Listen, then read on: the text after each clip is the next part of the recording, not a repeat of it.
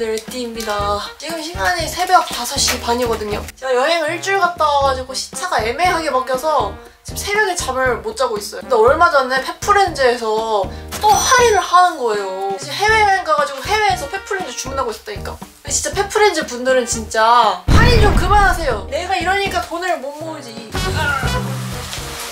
웬만하면 안 살라고 했는데 쿠키빵빵이 12월 달에 열리는데 그때까지 버티기가 조금 애매한 거야. 페프렌즈가 또 열받게 쿠폰을 또 엄청 많이 줘요. 여러분 아아아 아, 감자님들이 제 추천인 코드를 많이 쓰시면 저한테 이제 보상으로 쿠폰을 주거든요. 근데 그 쿠폰이 5천원짜리밖에 안 돼. 그 쿠폰은 제가 한 번도 쓴 적이 없어요. 페프렌즈를 하도 사니까 등급이 높아가지고 쿠폰을 되게 많이 주는데 한 번에 막 만원, 만이천원 이렇게 쿠폰을 주거든요. 웬만하면 고양이용품은 페프렌즈에서 몰아서 사는 편이에요. 그러면 또 하나씩 뜯어보도록 하겠습니다. 저도 비몽사몽할 때 구입을 해서 뭘 샀는지 기억이 안 나거든요. 아, 이거 과대포장 아, 이거는 웰니스 키틀즈 약간 파티믹스처럼 과자로 나온 제품인데 이거를 산 이유가 원래 2,000원짜리인데 유통기한 임박 제품이라고 900원에 떨이를 했어요. 근데 유통기한이 꽤 남았더라고? 꽤 남았는데 유통기한 임박이라고 팔길래 사봤어. 잘 먹으려나? 이런 거는 제가 먹이, 먹이 퍼즐에다가 넣어줍니다. 냄새는 거북이 밥 냄새 나요. 후추도 잘 먹네요. 자, 다음은 소독 스프레이인 바이러스 버스인데요. 이게 1인당 한 개씩만 이제 개당 900원에 구입을 할 수 있게 풀어놨더라고요. 청소할 때 뿌리고 물 청소하기 좋아가지고 제가 좀 구비를 해놓는 편이라서 하나 저렴하게 구입을 했습니다. 자, 요거는 팩톤에서 나온 테라조 박스 스크래쳐예요. 저희 집에서는 이제 귤 그려진 박스 scratcher를 쓰고 있는데 그게 딱 고양이 한 마리만 들어갈 수 있는 크기거든요. 앙팡이랑 후추는 이제 둘이 친하니까 같이 누워있는 경우가 많아요. 그래서 한번 둘이 같이 써보라고 좀 더 큰 박스형 스크래쳐를 구입을 했어요. 근데 이거는 가격이 저렴하지는 않았어. 아, 또 조립이네. 뭐야, 이거? 뭐야, 이거 조립 어떡해.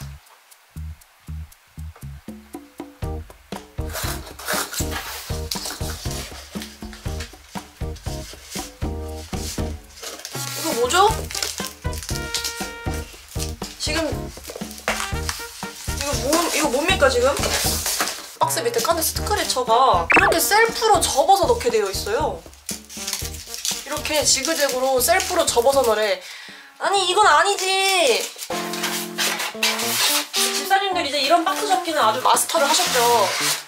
제가 고양이 용품을 사면서 이렇게 스크래쳐를 셀프로 접어서 넣는 건 처음 봅니다. 아 우리 집사님들 이거 접을 시간 없단 말이에요. 고양이 집사님들. 원래 가격이 17,000원이고 이게 할인해서 14,900원짜리네. 크기는 좀 정색이 보시면은 이 정도 차이 나죠? 와 조립에 노이로제 생겨있어. 정색이 나와줄래? 아 이거 끼우고 있는 동안 고양이 들어가는데요? 아우 나 잠깐 나 아우 휴식 휴식.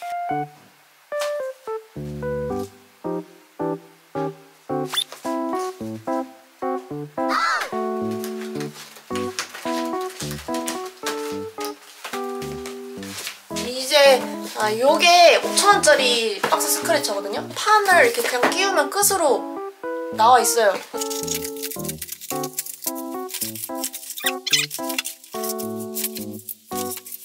와. 우와. 아니 이거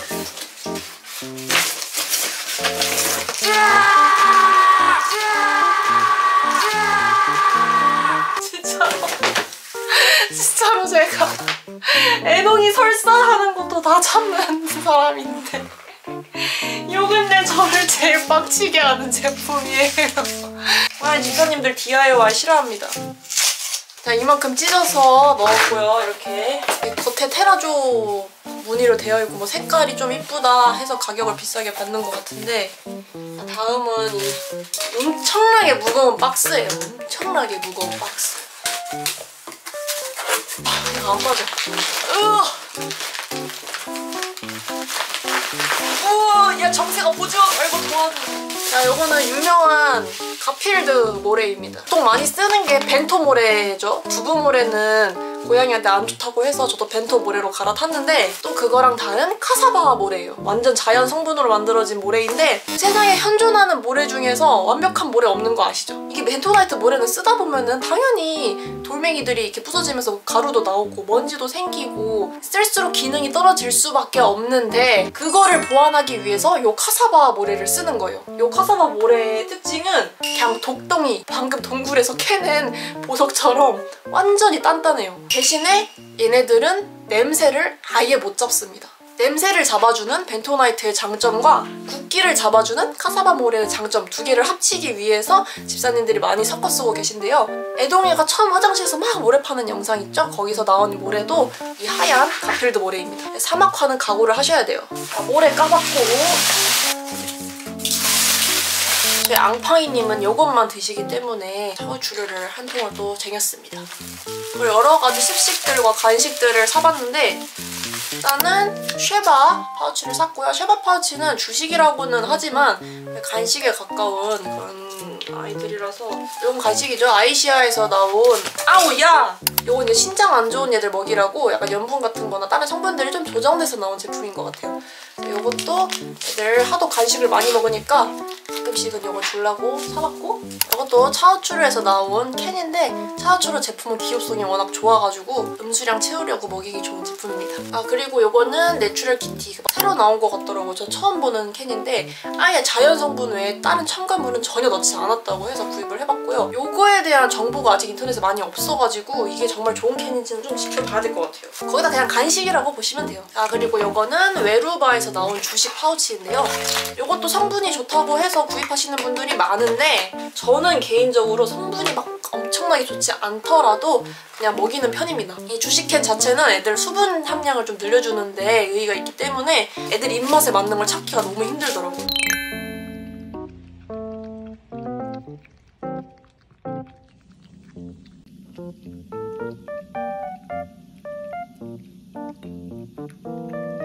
다음 완전 가성비 제품 닭가슴살 이런 태비 형태의 닭가슴살이에요.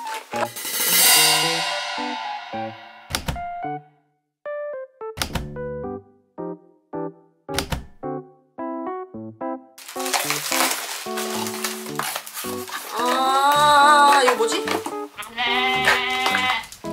또, 요 퍼시캔, 주식캔도 샀고요. 요것도 탑티어 성분은 아닙니다. 참고 참고. 요거는 진짜 성분 좋은 알모네이처. 요거는 간식 캔이. 근데 성분 안 좋은 주식, 성분 좋은 간식 하면은 뭐 벌써 거긴 것 같기도 하고. 그러면 저는 이제 이 지옥의 분리수거 늪으로 가보겠습니다.